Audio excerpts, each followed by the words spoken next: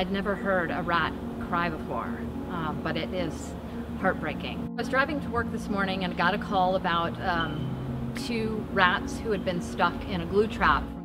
These are boards coated with a sticky adhesive designed to trap animals who wander onto its surface.